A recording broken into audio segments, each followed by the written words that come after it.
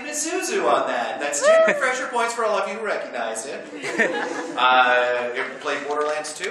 Yes. I was those psychos in that. I was the original Tsunami Tom for Cartoon. I raised you bitches. but I'm also a comic book artist. I was actually published as a comic book artist before I became a voice actor. Uh, and then, um, really interesting thing happened, and I think she's coming to this panel. Do you guys know who Wendy Pini is? There she is right now. Wendy is my old mentor and also not old. Sorry. Wendy, come up on stage for a second. And then stay. I asked Wendy to come up here because this panel is actually called We Shadows, right? Yeah. Which is a webcomic I did for a while, but I'm not doing that now. I'm doing a new webcomic, so I thought, let's just turn this into a webcomics panel in general. Now, Wendy Pini is the creator of a series called ElfQuest. You guys know that series? Yeah. You don't, you need to check it out. They're selling it down at the Dark Horse table right now. And I am her colorist on the series. Oh boy, is he good.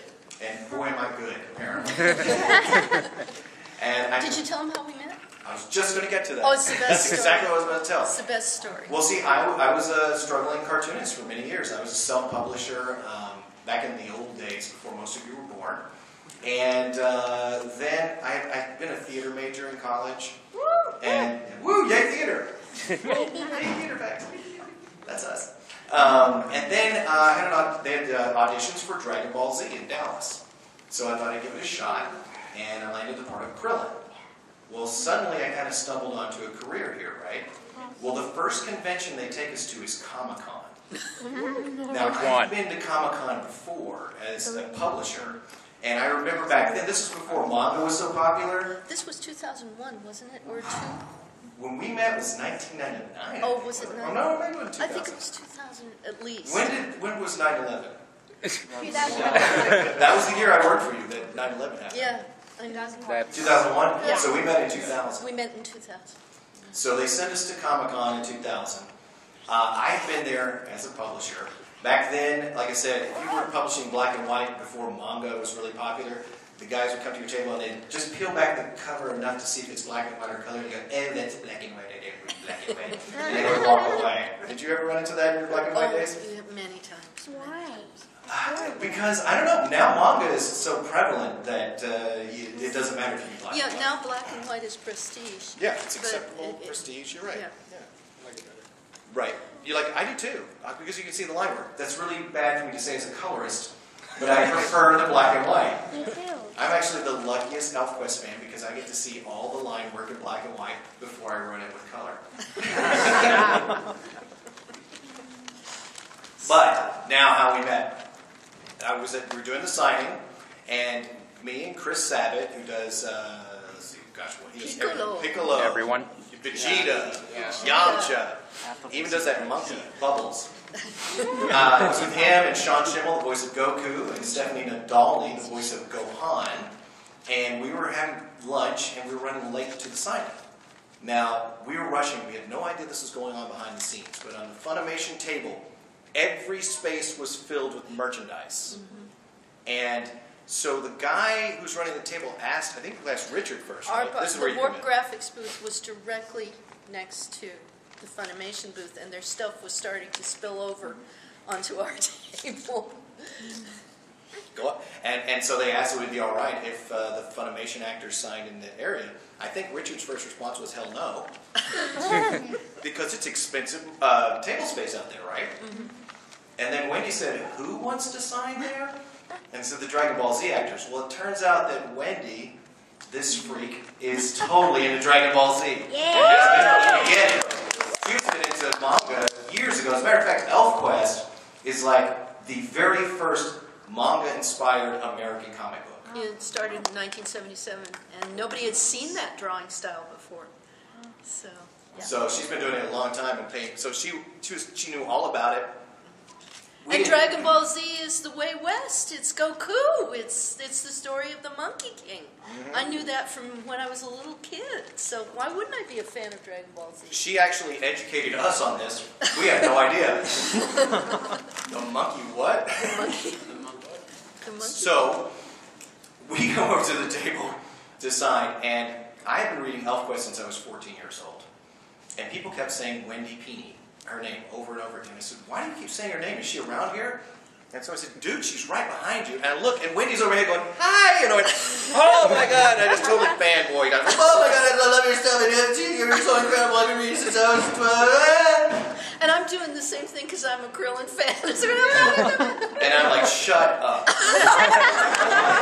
She's, no, really, me and my dog Chewy take a break every day, and we go and watch Dragon Ball Z. And I went, you gotta be kidding me. Uh-uh.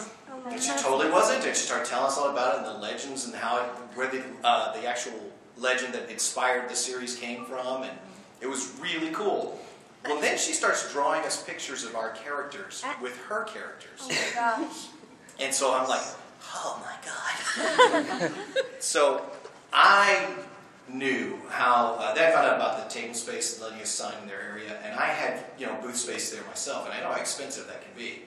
So to thank Wendy and Richard, I went to my room and I drew her main character, Cutter, talking to uh, Goku, Krillin, and Gohan.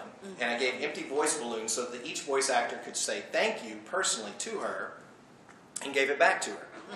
And she went, Oh, this is really nice. I didn't know you drew. And I said, Yeah, I've had a few things published. And she goes, Do you want to draw for me? and like the floor vanished between my feet. And I was just sort of suspended in midair. And I flashed back to 14 years old reading my first Elf Quest. And I think I said, or croaked, Is that a trick question? and she goes, No, I, I think you, you're really on model. Would you like to do this? I went, So my mind was blown. So I went home and I thought about it and I thought, you know, I kind of felt my artwork had hit a ceiling and I've always wanted to study under a master. Mm. So I called her up and I said, Wendy, I'm, I'm honored to be drawing this and I will draw this. But I was wondering if we could change the terms. And I believe you said, do you want more money? And I said, no, I don't want more, but I want to be your apprentice. And she said, Really? And I said, Yeah, you're a master, one of the few we have left. I want to study under you. I've admired you since I was a kid. Well, I, I remember asking you, do you realize what that means? Yes. Because it, when, when someone asks you to, they want to be your apprentice, that becomes uh, a lifelong obligation for the teacher as well. It becomes an eternal bond between sensei and apprentice It's all part of the until the apprentice becomes a sensei. Which I'm, I'm still learning. no, uh, I'm still learning. You're- No, I- no, you can't get out of the contract. I'm still learning. yeah, you're teaching me stuff now. No, I'm not. So, yeah, she said, okay, move to Los Angeles. Can work in my studio. And I worked in her studio, and every day I would draw a page. Well, not every day. Sometimes we went to the beach. But every, every day I would draw a page. I would give it to her, and she would say, this works, this doesn't work, and this is why. And it was the most amazing learning experience of my life. I learned like 10 years of learning in just one year oh. being under her. It was an amazing experience for me. And I haven't stopped learning. And in the meantime, you kept up all your voice work I flew back to Texas to do the voice back and forth. And so on the days when Sean Schemmel would come visit the studio, come visit Sonny at the studio, they would be like partying the night before, and they would come in that morning as Goku and Krillin. Hungover. Uh-huh. so they come blasting in the door.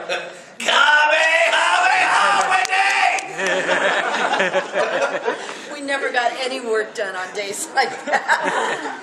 Now, Wendy is kind of a beach bum. so if I didn't want to work that day, I would look out the window and go, oh, it's so beautiful today. He it would was be nice so to be at the beach. And she'd be like, you son of a... All right, let's go. And we go to the beach.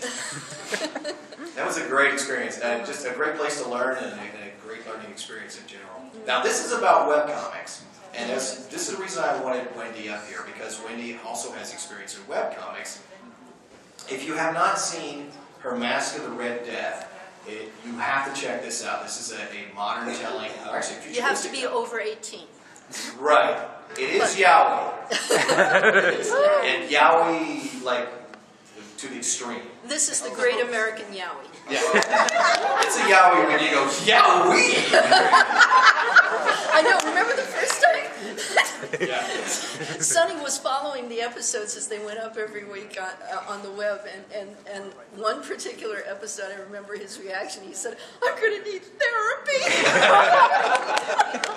because you were turned on. Well, I didn't say that. I said I can see the attraction. so I was turned on. I understand why. It's aesthetics. An artist. Nothing to do with how well hung Anton is. But it really is a good series. And if you are old enough and brave enough to check it out, you should check it out. It's really good. Mask of the Red Death. Just look up Wendy Pini, Mask of the Red Death. Now, she did an interesting thing. That's why I wanted to Yeah, talk to you. the reason you're bringing it up is Yeah, because it's, it was a webcomic, but she decided. Now, I've seen some uh, anim, like flash animation stuff that's done for the web, and I've seen you know stuff that's done for comics. But what she did from the very beginning, she planned it so you can see it animated online, as well as it would look good in print. And so it stands alone in print, it stands alone online as, as an animated uh, thing too. So it's really brilliant. You have to check it out. But, but onward to where you first decided to do your webcomic. Okay. I had finished drawing ElfQuest, and I was directing uh, Lupin the Third. We had just got a series of like 11 movies. And I was writing and directing and acting, and I didn't have time for comics anymore. But my friend Jeff, uh, who worked for ElfQuest as well years ago, said he was going to be at a Dallas convention. I think everybody has worked for ElfQuest. I think, yeah. Yeah, a lot of people have worked for ElfQuest. and he said, hey, I'm, I'm going to do this convention in Dallas. Would you like to join? I said, sure, we'll, we'll share a table. Well, I didn't have anything to sell, but a local comic book art, uh, uh, comic book store had a bunch of uh, the summer special that Wendy and I did together. And so we said, well, if you can sell them here, I'll give you half of it. And I said, okay. So I put them on the table. Well, a representative of Tokyo Pop came to the table. Oh, Tokyo Pop. Yeah, is that sad, right? Bye-bye, Tokyo Maybe rest Pop. in peace. Yeah. Do you know what I like about Tokyo Pop is their translations. Yeah. They they really read well. They were perfect. so many of the translations read like fan subs, you know. But the Tokyo Pop ones were amazing. I miss it. And you know why they failed? I actually got it from the horse's mouth. Uh, there were all these rumors, but the truth was they. My wife is just dying to talk to me. Yeah. Um, the truth was is that they invested all their money into Borders. And when Borders tanked, they lost over half of their revenue overnight. By this point, Tokyo Pop was a huge monster that required a lot of money to keep going. Well, they couldn't do it anymore, and that's why it folded. I mean, they used to take up a full wall at Borders. Uh, yeah, it, it, A it, whole wall. it, it was the pla- it was the way place to go. It was like for Funimation for anime, it was you know Tokyo Pop for manga, you know. And uh, the guy, a representative of Tokyo Pop came to the table and he said, I am an acquisitions editor. I'm looking for talent. Who is Sonny Strait? And I said, I am. He goes, I love your ElfQuest stuff. And I went, wow, thank you. And he goes, do you have anything for me? And I said, no. Just flat out, I don't have anything. Uh, I'm too busy and I don't have any ideas or anything. And then my buddy Jeff, Jeff and I, when I lived in Los Angeles, we got drunk together one night. And I What s- do you mean, one night? well, this this one particular night that we got drunk, something interesting happened other than just chasing girls. Uh, it's not all about Anton and his big schlong. so I got really drunk and I started telling him about this idea I've had on the back burner for 10 years about this uh, fairy uh, named Goat who becomes the puck. Uh, you guys know Midsummer Night's Dream? Yeah. Right. Well, in this story, the puck is a title, and the old puck leaves, and somebody else has to take over. And it's this character called Goat who no one likes. It's basically an ugly duckling story and how she comes to her own. So uh, I told him about it, and he said, That sounds cool. Uh, send me some pages. I sent him like four pages. And a couple of months later, he hooked me up with an editor, and I got published to do it, which was really cool. Book one came out. Uh, it got great reviews. Uh, it was actually nominated by the American Library Association for Best Graphic Novel of 2008. Yeah. And then uh, book two, they, they right, I'll get some respect. Uh, and then I did book two. They paid me to do book two, and then they tanked, so they couldn't print it. Not the books, the company. Yeah, the company tanked, and then they couldn't print the books. So they paid me to do a book, which was cool, but I wanted people to see it, you know? Uh, I do comics because I want people to see them. I mean, I make more money uh, working at Funimation as a director and a writer. That's actually a better paying job than doing comic books. But I love comics. That's like such in my blood, so I have to do it. So they were also holding on to the rights of everybody's properties. Mhm. And it's in the contract. It said they can hold them indefinitely. They were hoping that if they held on to these properties, maybe they can get one to turn into a movie or something like that. And that's not a singular experience, it happens all the Yeah, time. James Perry went through that. Happens all the time. Oh, James, yeah, he's a good friend of mine. He's a good friend of mine too. Orange Crows, yeah. Yeah, he's another Tokyo pop guy. He did something. Now, I was lucky because I, I an, an attorney at Funimation wanted to work on this kind of contract, and he volunteered it. He said, I'll do your contract negotiations with their lawyer, which was awesome. And I got the best deal that anyone at Tokyo Pop ever got. Um, and one of the things, the stipulations on there was that if they don't get it printed by a certain time after accepting the art, all the rights go back to me. Hmm. And I, at first, I, when they said they're holding on to the rights, I went, oh no. And it took me like six months to remember, wait a minute, there wasn't there a clause? And this contract is huge. That's another thing. If your contract is really big, it's not usually a good thing. The smaller the contract, the better the deal, usually.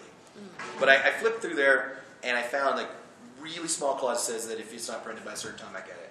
So I called him up. I called Stu Levy. And I said, Stu, that's what the contract says. And he goes, let me see. And he's like, you're right. You're right. So they had six months to print it after that point of being notified. They couldn't because they don't have a company anymore. So I got the rights back. Well, immediately I put it online and uh, became WeShadows.com. And it was constantly voted into the top 10 webcomics, usually by me nagging people on Facebook to do it. That was a campaign. yeah, it was a campaign that would go on for a long time. A lot of people miss the campaign. I'm like, I don't miss the campaign. It was fun though. We got to talk to you. I know, it was kind of like having a, a comic strip, Yeah. you know, that was about voting. but it was fun to do for a while. And then um, I, s- I really ran out of time. I started, I, well, also, something very serious happened. My cousin died. Oh. Yeah, it was like my favorite cousin, and I just wasn't inspired to do anything for about six months. So I just, uh, and plus I started coloring for ElfQuest, and my uh, voice acting jobs had increased. And um, so I was like, you know what, I'm, I, I'm writing this now as I go along, and that's not good. The book is suffering for it, so I decided to put it on hold. And then about, I'd say about three months ago, I just started coming out of the uh, mourning period, and all these ideas started cropping up. And I had this idea for a new comic book series of superheroes, which I've never had before. And I don't know, Mr. Average was a. it's kind of a superhero. Yes. He's- If you consider a guy in a, with a cue ball for a head and a business suit a superhero, but he had powers. But uh, so, and I, did, I realized I didn't have time to, to write and draw this. But I called up my friend Billy, who was a guy I wrote comics with in college. We did a book called The Sex Gophers from Hell, which is it's about a rock band called the Sex Gophers. And uh, I said, "Do you think you could come up with something with these characters?" And the next day, he had a full script. And I went, "Okay, cool. Now all I have to do is just draw it. and I'll draw it at my own pace." So if you go to Lemme, L E M M E comics.com, you can see my new book. It's called Lemme Adams, and I stole the name from my wife.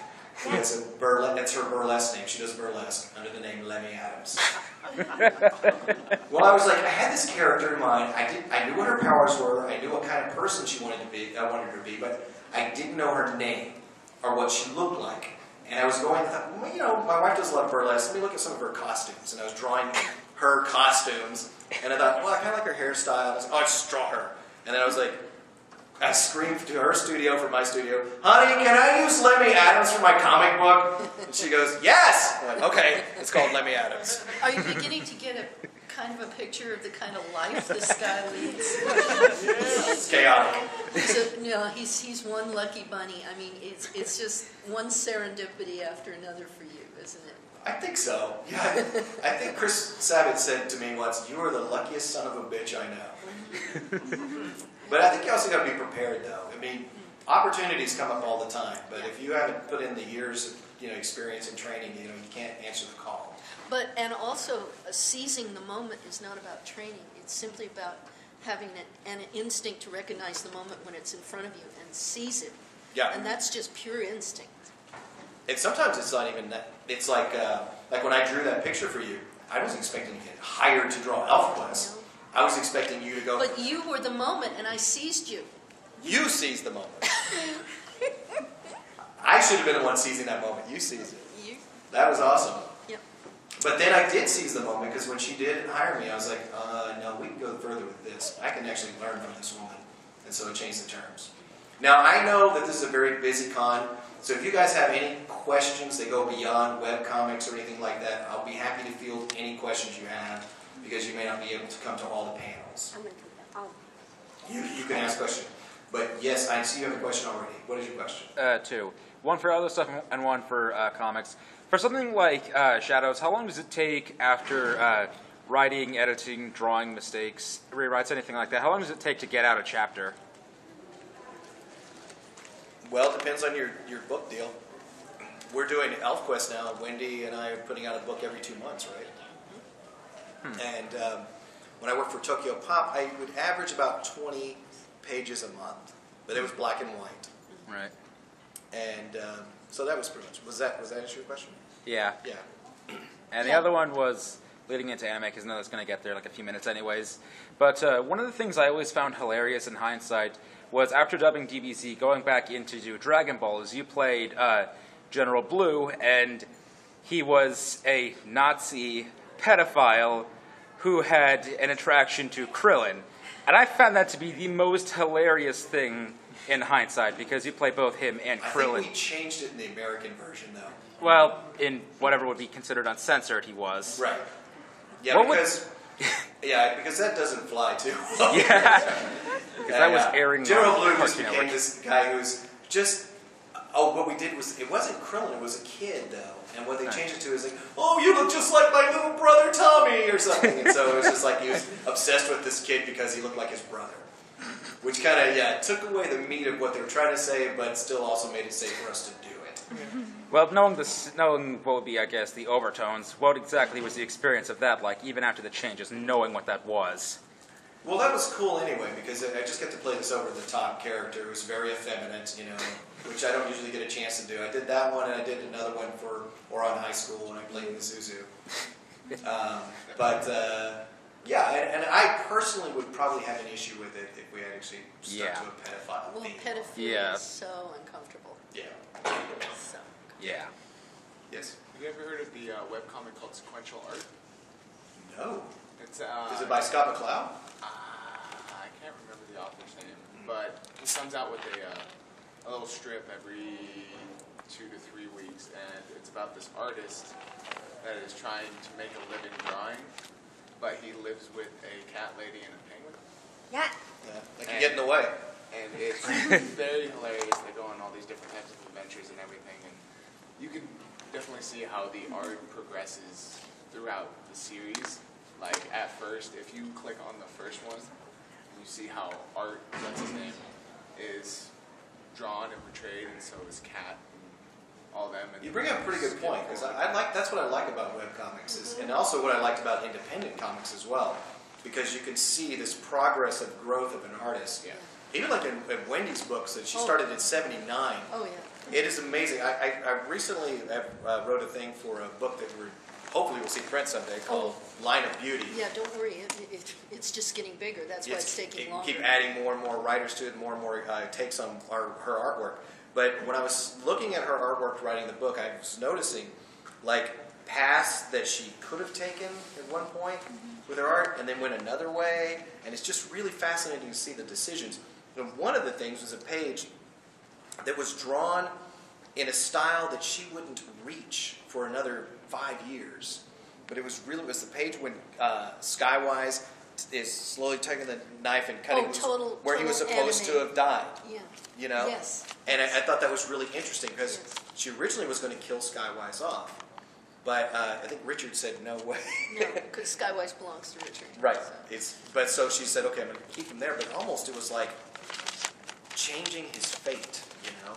And it like it mustered up all of this, I don't know, it like almost echoed what her future was going to be. And if you look at that this page I'm talking about, you can look at the style is so close to what she did five years later, more than any other page before it or after it.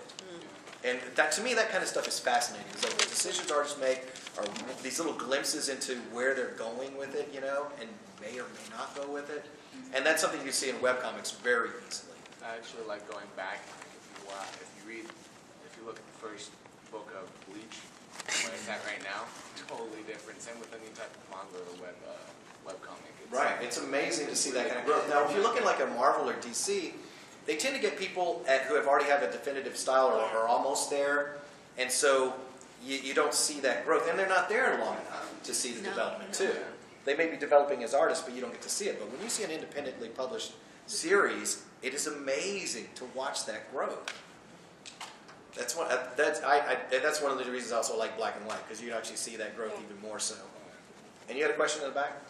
Yeah, I had two questions. My first one is, with a webcomic, what does it really take for it to be successful, to blow up like, like, like the, the small few that happen?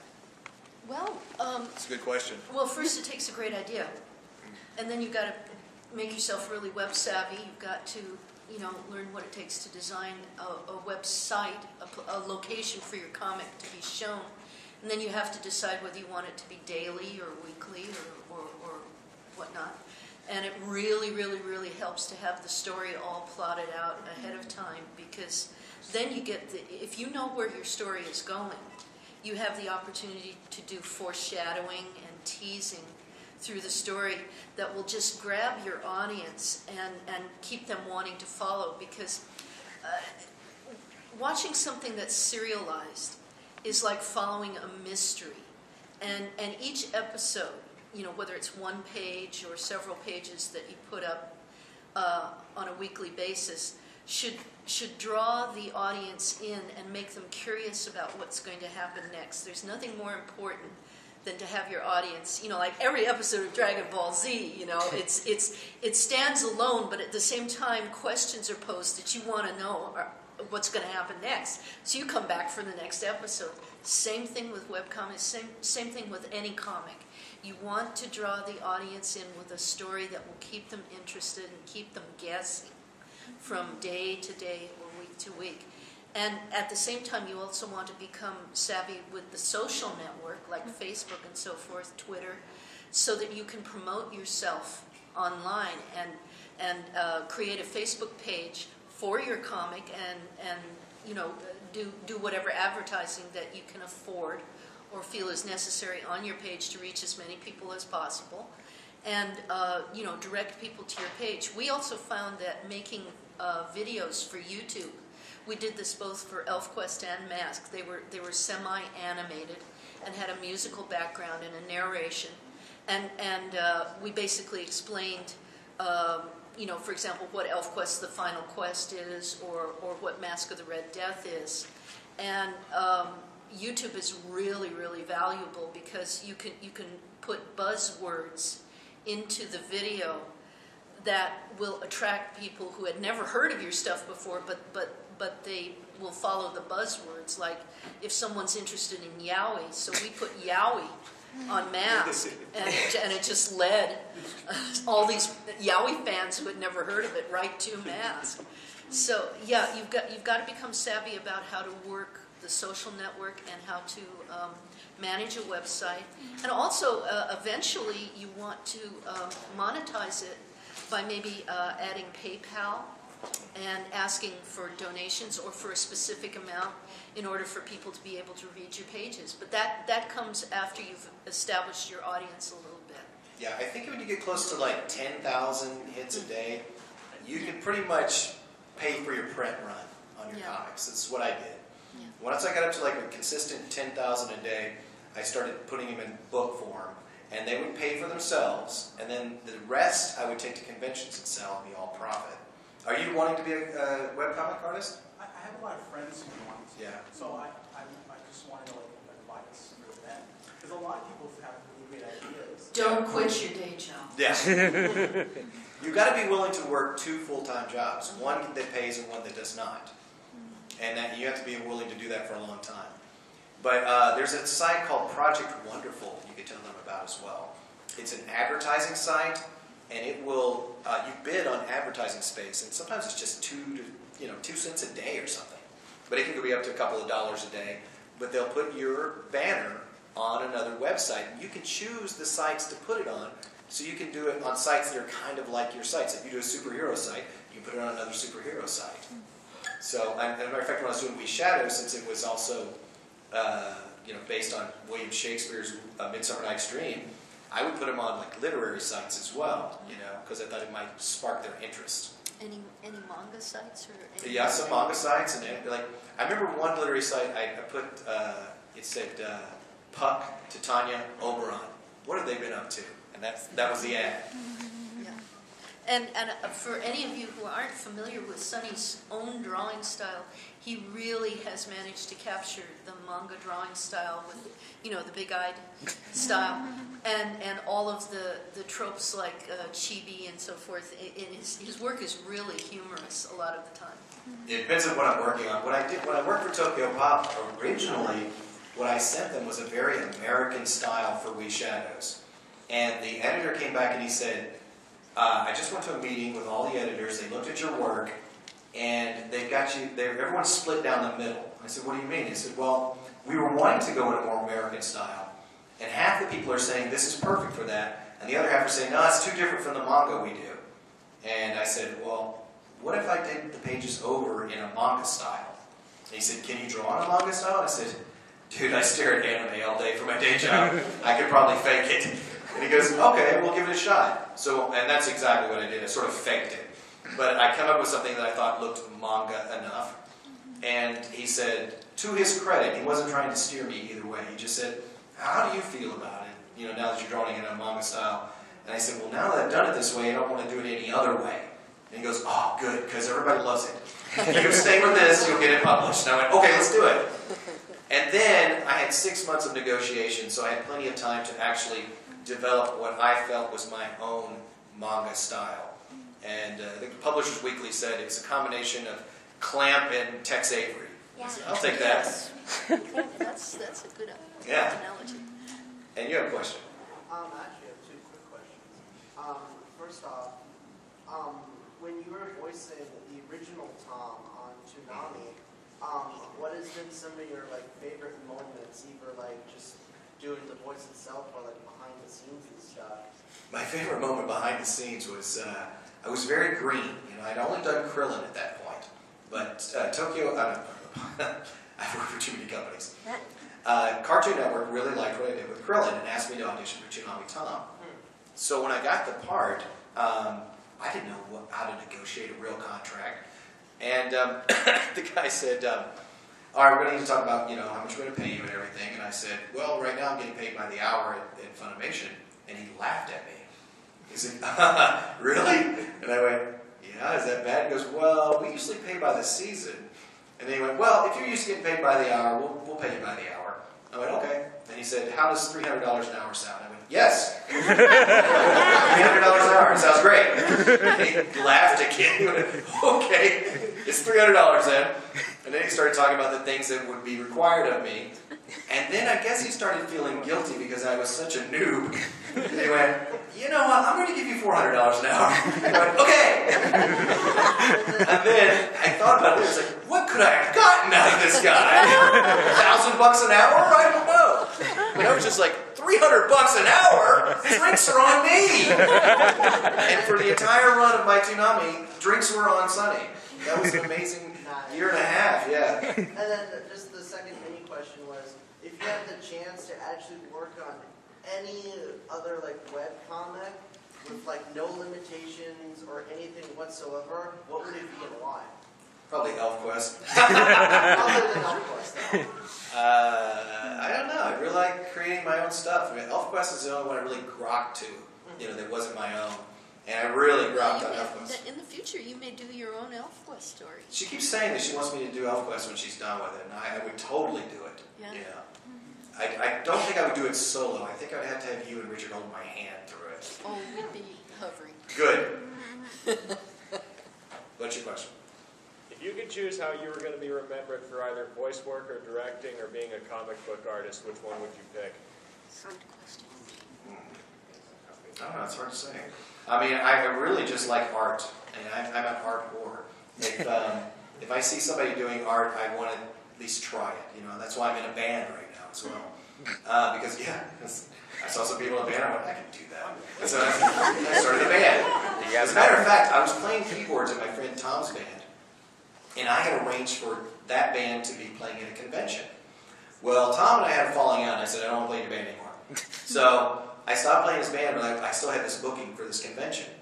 So I uh, said, hey, um, I'm not in that band anymore, but I'm in another band that I front and sing for. Um, would you like to have that one instead? And they said, oh, yeah, that's fine, right? So then I called up my friend Neil, who's a composer, and I said, Neil, do you think you and I could come up with an album in six months? And he goes, I think so. And why? I said, well, if we can, we can make some money at a convention. He goes, okay. So we sat down and started writing songs in six months and came up with an album. Uh, it's the band is called White Girl. And if you go to whitegirlstudios.com, you can hear our album there. By the way, people who like Drocell from Black Butler, the London Bridge is falling down. We do our own version of that song on there. Our first rehearsal was on stage at the convention front of everybody. Oh my gosh. It went really well. we, but we all we were all performers. It was me and my wife and Neil. We've all been uh, in theater and stuff like that. So we just pretended like we knew what we were doing, and it seemed to go off okay. What convention is this and when? It was I wanna already find past. this. It was a couple of years ago. Do you know what it was called? I want to find this on YouTube Yeah. because I know I think that's it was there. MissouriCon. Oh, was it? yeah. Yeah. There, Nice. There's YouTube videos of them. Yeah, there is. Just look up uh, Sonny Strait White Girl. Sonny is a real renaissance man. It would be hard to remember him for, for any one thing. Yeah. That's what I would like to be remembered for. Is just somebody who tried everything he could before he died. Just throw it against the wall and see what sticks. Yeah, Yeah. exactly. yeah. But I, you know, I think most people who are um, artistically inclined tend to be good in many areas, and it's just what area they grok to. Um, like, Oh no, keep going. no, I think every, well, even Wendy, you know, she she written music, you wrote books, and you, it's it's not just drawing. And you were No, a I- dancer. I used to be a belly dancer. Right. I mean, uh, to me, I think art just comes from the same source, and then it's just how you're going to utilize it, you know. And every Funimation actor I know also does something else. We have people who have comedy troupes, we have uh, musicians, and they they run the gamut of creativity. Creativity is creativity. It's just how you want to apply it, That's right. and that's going to be on my tombstone. And we, Uh, um, I just wanted to know if any of your characters were created from anyone, like in your family or your friends. Like, were they based loosely on one of someone in your life? Actually, Wendy actually appears in We Shadows Book One uh, because I talk about meeting the Queen of the Elves, who took me to the uh, the gates of fairy and deposited me there, and uh, that actually kind of happened. It was based on reality. That, Wendy took me to Gilroy, Texas. I'm not Texas, Gilroy, Gilroy, California. California, and uh, where she was raised. And then he took me to what was the It's, forest? it's Mount Madonna. We have we have big redwoods, uh, a big redwood forest not far from the town where I grew up. And Sonny told me he had never seen a forest before. oh gosh. You know, little Texas Texas. See Yeah. woods. We don't you have see forests. woods, but a real tall, deep green, mossy forest. No. So uh, we made sure uh, when we were uh, up north once that, to take Sonny to Mount Madonna, and it was amazing to watch his reaction to it because Sonny has a lot of fairy energy in him. He really is Puck. He's Puck. I played Puck. He played Puck. It's about 50 pounds ago, but I played Buck. And and so just turning him loose in the forest and watching him because he's like, oh, oh," you know, he's like, I'm home, I'm home. And then and then he headed straight for the most tangly thickets in the forest. You know, he seemed to just love all the tangled stuff. like the, the natural archways Yeah. and stuff that uh, nature makes. Yeah. The fairy gates. So so once you saw the forest, it, it probably changed your Well, I went home. When I got home, I, I, I, had, I woke up, you know, in the half state, like I was almost awake, and I heard this sweet voice singing, If you want to come inside, speak the name and block the eyes. And I went, what's that mean? Remember, And I was like, that sounds like a spell. yeah. And so I put that in We Shadows too. It's like that's how. So the story, the book, the introduction starts off with me talking about my experiences uh, working with some vocal wizards and how our, our, our uh, combined power yell shook the world at one point. And it was sort of a reflection of my life just blown up. And then I talked about going to by the, the fairy queen, I mean the elf queen, taking me to the fairyland, and then waking up with that song. And I said, Well, what are you waiting for? Speak the name, fairy, and block your eyes. Mm-hmm. And then when you do this, you see this hand come up like this, and all these feathers fly off of the, of the hands. And that's when the book begins. That's when we go to fairy. So, yeah, it's kind of based on reality, you know? So don't ever think any ideas you have are too weird. yeah. Can't get weirder than mine. yes. Two things. If you ever had the opportunity, would you make a contract with uh, Viz Media? Uh, thought you were Viz gonna Manga? Viz Manga. I've already done that a I lot. have done that a couple of times. Viz, Mo- Viz Manga? Uh, no, no. Oh. Oh. but uh, would you try to strike up a deal with Viz Manga? I guess if, if I had the time to do something and they had a good enough deal for me. Uh, and uh, Marvel or DC? Oh, hmm. God, I would have say Dark These, Horse. these days, I've always been a Dark Horse guy, Well, I had to pick the broadest options. But between Marvel and DC, I don't know, some of both. Or really, it's about equal. DC is still so conservative. Right. Yeah, they really are. Yeah. And how many 52s can we have? Honestly. 52? Um, how, how do you feel about bridge series? Like, uh, Dragon Ball Z Abridged? Yeah. I think it's hilarious. All right. Krillin owned count. Do you know about this? Every time Krillin gets his butt kicked, there's this Krillin owned count that comes up. Adds another point to it. As a matter of fact, when uh, when I sang the Dragon Ball Z Kai theme uh, on YouTube, people are going Krillin owned count minus one now. Ah, that's nice. Thank No, you. Oh, have you guys heard? Have you heard him singing the Dragon Ball Z theme? I would like Can you Oh my please sing God. Dragon Soul? Oh, I'm not doing it about music. Right here. Yeah, can you do Can it? you No, uh, not after screaming all day. Okay. But you can go um, to go to YouTube and just Yeah. look up Sonny Strait Dragon Ball Z Kai theme. And what I, lo- I love the words to that song. You know, that it's so inspirational, and then the way he sings it is. Don't stop, don't stop, we're in luck now. Don't stop, there's so much to be found. I, that's another problem, I can't remember the words. we can find paradise. All we have to do is go free and show, free your soul. That's Free it. your soul. See that you get to free your soul. That's I'm actually going to Toonami in the fall, actually. Oh, cool. So, Nice. Well, now I did say that if you had something to, for me to sign, I would give you the last 10 minutes for that. Mm-hmm. And I think that's what we're up to right now. Mm-hmm. If you guys want me to sign anything, like I said, only for this panel it's free, so come up here and I will sign it. If you want to buy one of my posters, they are 20 usually, but I'll do them for 10 at this event. And thank you for letting me sit in. Thank you for joining No, me. you were awesome.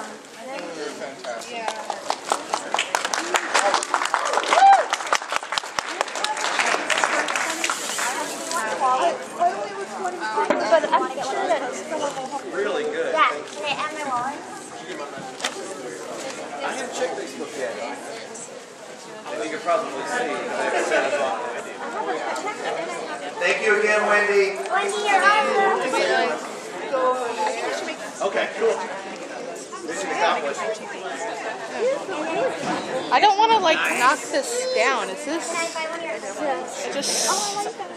Let's get over here.